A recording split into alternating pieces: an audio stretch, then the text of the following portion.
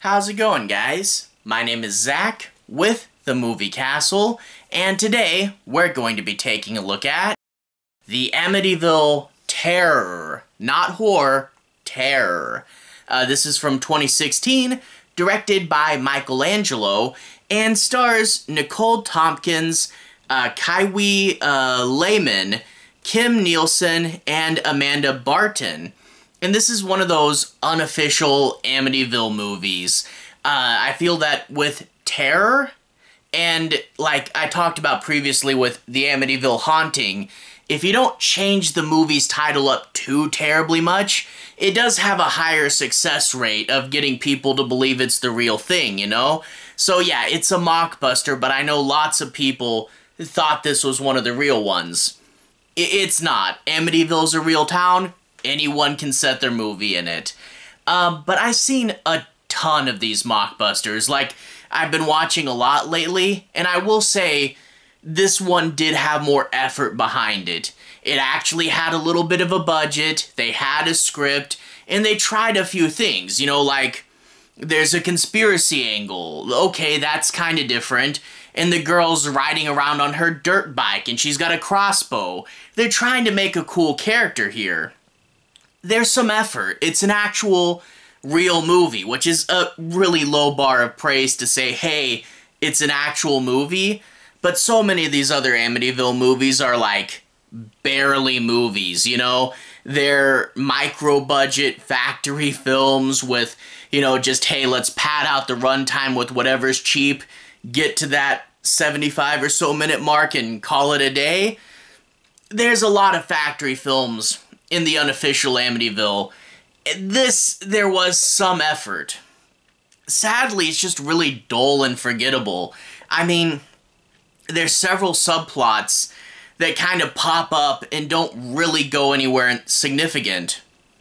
And the scares don't really work either. You know, there's several times where you can tell, like, okay, now the movie's trying to be scary, but that horror atmosphere doesn't really permeate through the whole thing if you do a horror movie, you need to have some people on the team that absolutely care because you can tell when it's amateurish and like the cinematography is clean and standard, not scary. And the scare sequences definitely do feel like, okay, now we're gonna take the time to try to do something scary. And it usually just results in, yeah, I get what you're going for. And there's like awkward little stumbles and you know, like CGI fire. You know, there's they're trying, but it doesn't permeate. You know, it it kind of feels soulless, you know, and you really do want passion. The passion behind a horror maker really does shine through and you need someone that legitimately cares. Uh, one of the scares that kind of embodies the movie in regards to both not being scary and things that don't go anywhere there's one scare I really want to talk about. There's a guy, he kind of knows what's going on, so he shows up to the Amityville house, and through the window, he sees a possessed person holding a knife behind an unsuspecting potential victim. He pounds on the windows, he screams. No one inside can see or hear him. There's some effort there. That's interesting. What's gonna happen? Flippin' nothing. The guy, when he sees he can't do anything, just buzzes off, and the person about to do the stabbing just doesn't stab. The scene gets to an interesting place and then goes into nothingness. it's, frustrating. There is also one other thing I almost forgot to mention. Towards the end of the movie, no major spoilers, but major characters in this movie just die off screen. Like it happens more than once, and I'm like, no, that that's that's a sequence you could have had. That's emotion you could have had, but you have big important characters that just get found later dead and I'm like that is a huge mistake. Again, this movie had something behind it. It had an actual crew, it had an actual budget. There were people there trying to make a real movie, and it is a real movie. It's just a case of what could have been, you know? Ultimately, this movie is pretty forgettable, it's a real movie, but it's just kind of dull and forgettable. I just watched it and I'm already forgetting large chunks of it. And actually, this is my second time watching this because I watched this in the pre channel days long ago when this first came out. And after that first watch, the only things I really remembered were a few awkward scenes and the dad's haircut.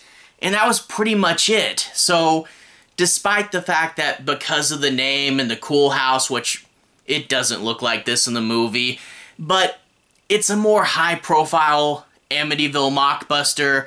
It's one that people might actually assume was in the real series, and I see this DVD around quite a bit compared to the other unofficial Amityvilles. It's just a shame with all that going for it. There's really no substance here. Again, they do try a few things, but it just. It, it's so forgettable. Oh well. Uh, in order to analyze this further, I'm going to talk a bit about the plot. We'll take a look at a few things that work and don't work.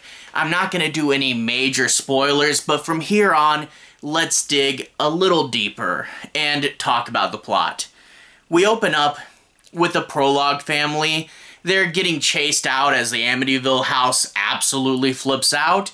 It's a good enough opening scene, and the mother gets tricked to go back in by what is clearly not really her son with a a big painted pentagram on his forehead that looks really bad. It's an okay opening, foreshadowing the okay movie to come. And then we get our family. Mom, dad, daughter, they're moving to Amityville because the grandparents just died and the parents are having financial stress, so they're going to move in with their sister.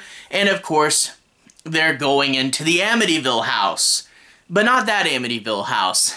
This kind of weird. This movie takes place in Amityville, but the house is on Amity, like that's the street name, and not 112 Ocean Avenue.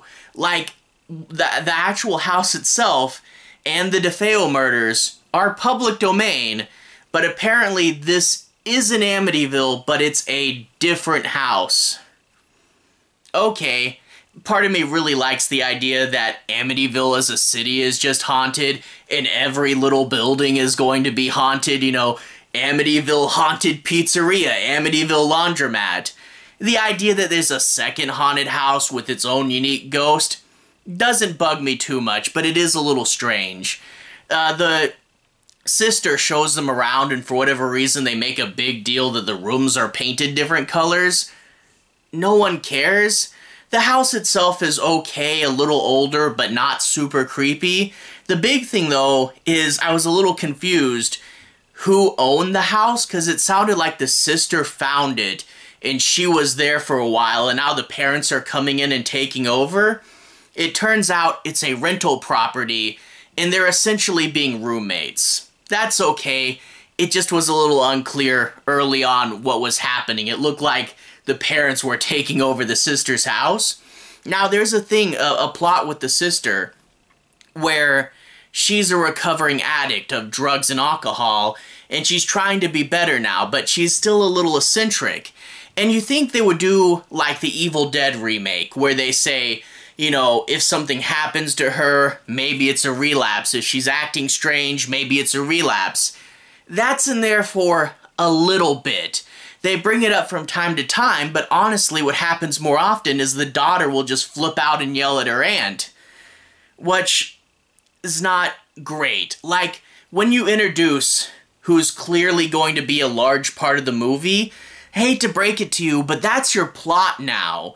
They seem to say, hey, this is what's going on, this is like where the evil's gonna hang out, revolve around this one character, and then they still try to shove her into the background that's what your movie's about. That's what your focus is. You can't take out such a big piece and then still try to set it aside. The aunt really needed much more fleshing out and centering, you know? Uh, whatever. The movie's really about the daughter cruising around on her dirt bike and meeting some mean girls, which are super annoying, or she gets a boyfriend and then she's gonna solve the mystery. And I said it earlier, there's so many plot points that don't go anywhere. like talking about solving the mystery. She finds in her house a surgeon bag. Well, I think the aunt finds it first and then she sees it, and it's got a guy's name on it.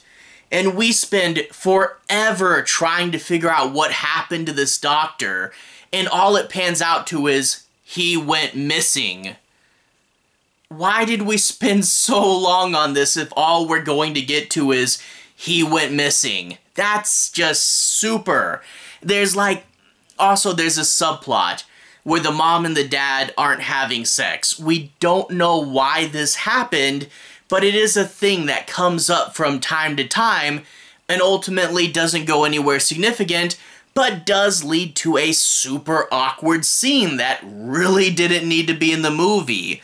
Uh, you get this teenage girl that the daughter could be friends with, right? And she knows like crystal magic.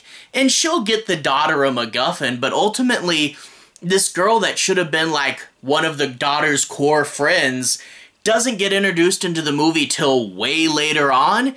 And then once she gets the MacGuffin, she's not really super important to the movie anymore.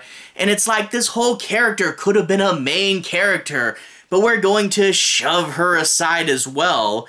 And we also get like the dad has a job at the auto body shop and one of the persons there is going to be his friend and you think okay he's a main character too right the job element and the friend really go nowhere and again just leads to one super lame scare like the auto body shop scare is so so cheesy and stupid and it's like you get all these stuff elements that should be your plot should be what the movie thrives on they should be substantial. They're your meat and potatoes. And they just get pushed aside and not focused on. It, take your plot elements, add layers to them, make them interesting, have focus for goodness sake. But ultimately, who cares? The main thing there is trying to uncover this Amityville conspiracy, and it's a case of when I say Amityville conspiracy, you all basically know what's going on anyway. And there's things like the clearly evil realtor is actually evil? Yeah, we know. And I think that is also like you should know when your audience knows, right? It ultimately pans out to so so ending, but overall, the movie is just fine. Like I said, it's got some ideas, it just doesn't know how to flesh them out. It's got some unique elements, but not enough to make it memorable. It has a budget, it's a real movie, it's not a factory film like a lot of other ones. It's just a it's just a, a forgettable dull film that's relatively soulless. Overall, whatever.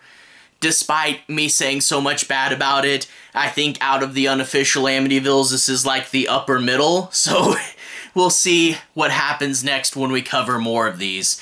Anyway, though, uh, to everyone who's watched so far, thank you for watching. To everyone who's liked and subscribed, thank you. You really are helping the channel out. I'll leave a relevant playlist on the bottom. This should be my Amityville playlist where you can see me talk about some of the other ones of these. Anyway, have a good day. I'll see you guys again very, very soon. Amityville playlist on the bottom. Have a good day now.